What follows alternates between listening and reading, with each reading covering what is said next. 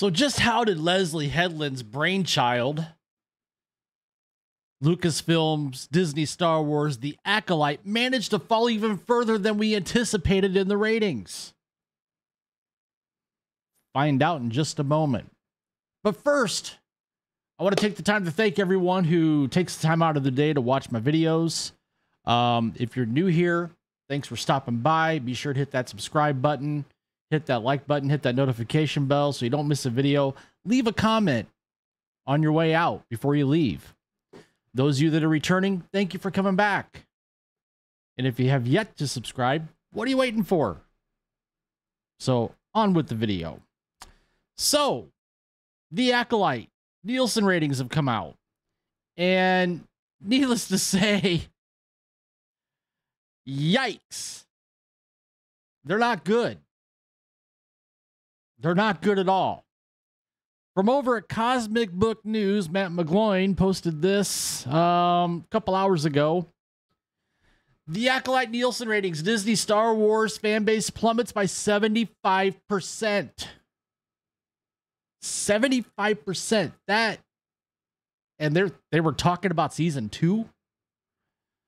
I guess you can greenlight season 2 if you're Disney and you just want to burn money, burn cash because that's what it would be. It'd be burning cash. Uh, the data reveals the viewership numbers are the second worst for Disney Star Wars. The Acolyte Nielsen ratings are in, and as expected, they're not good, with the numbers being the second worst for Disney Star Wars.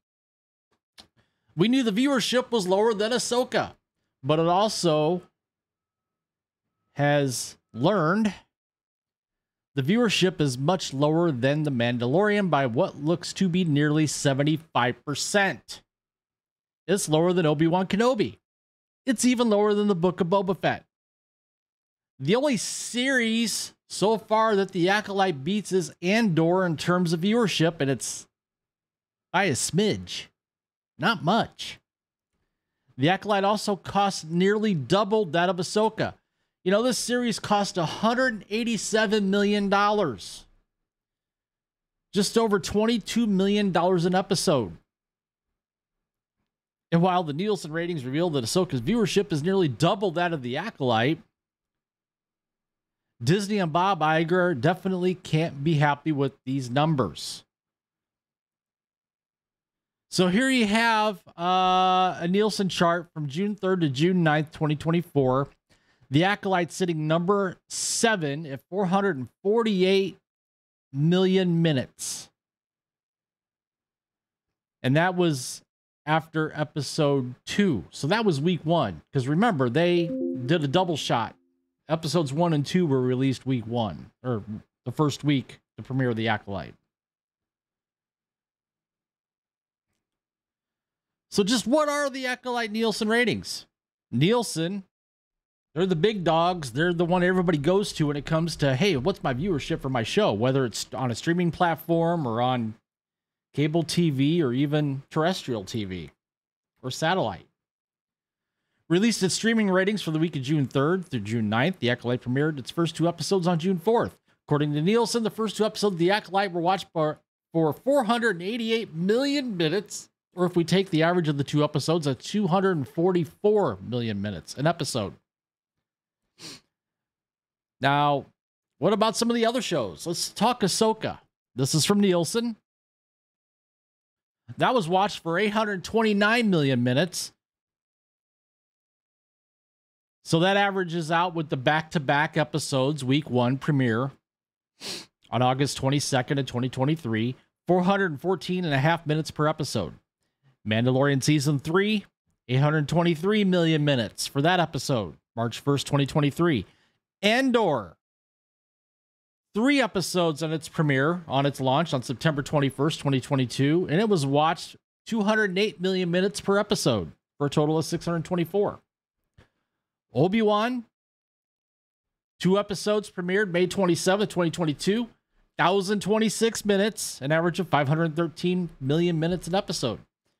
Book of Boba Fett, it only did one episode for its premiere, and it was 389 million minutes on December 29th, 2021. And we'll go to season two of The Mandalorian. One episode only. 1,031 million minutes on October 30th, 2020. We don't have the Nielsen numbers for Mando season one back in 2019. So, as you can see, it's not looking good for the Acolyte. In fact, out of all these Disney shows mentioned, Mandalorian season two and season three rank one and two.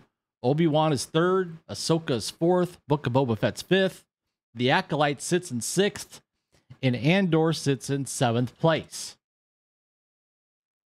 Again, you don't get the Mandalorian season one, those numbers aren't available. But I'd be willing to bet the Mandalorian season one will probably be in the top spot. That'd be my guess, which would push the Acolyte down to eight out of nine. That's just a guess, though. So, viewings and run times. If we want to figure out the average viewings for each premiere because the run times for the episodes are different, we divide the Nielsen viewership numbers by the runtime. We see not much changes except for Mando Season 3 and Boba Fett. Mando Season 3 bump is likely because of Luke Skywalker appearing in Boba, but regardless, the Acolyte still ranks second to last. In fact, um, the runtime looks here 82 this might be the viewing time mandalorian season 3 premiere 37 minute total runtime one episode 22.24 million viewings. Two episodes for the acolyte 82 minutes runtime 5.95 million viewings. That's not good folks. That's not good at all So, what the data reveals is that there's a significant difference in popularity when comparing the top show, The Mandalorian, to what's at the bottom, The Acolyte. The data reveals that the majority of fans who watched Mandalorian didn't tune in for The Acolyte or much of the other Star Wars shows. Nearly 75% weren't interested, as indicated by the significant 73.25% drop in viewership. And again, I know it sounds like I'm beating a dead horse, for lack of a better term this is what happens when you put the message or you push an agenda over telling a compelling story and character development and good acting.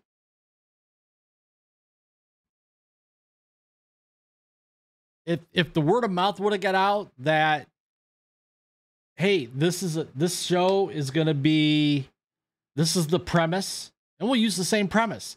Premise is it's going to be a, a, a murder mystery who done it type thing involving uh, the Jedi and the Sith and the High Republic era. Granted, the Sith were supposed to be extinct for a millennia.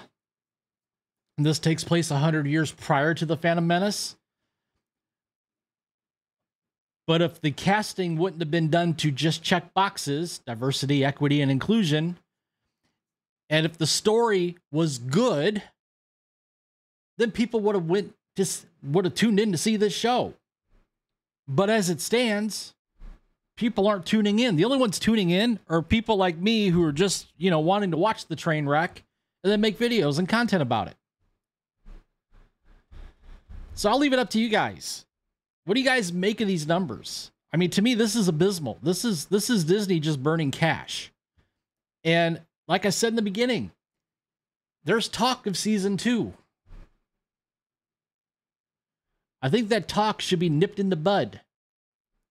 Unless Disney really wants to burn another 180, 190 million dollars on a series that's not going to draw eyeballs. That's not going to make them any money. But what do you guys think? Comment in the comment section down below. While you're at it, please take the time, if you would, to smash that like button. Subscribe to the channel if you haven't already hit that notification bell so you don't miss a video. And um, share this video out there with your friends and family. I'm sure people are interested in in, in what's going on within uh, Disney and Disney Lucasfilm and Disney Star Wars as it pertains to shows like this that are doing no more than pushing an agenda and not telling a compelling story.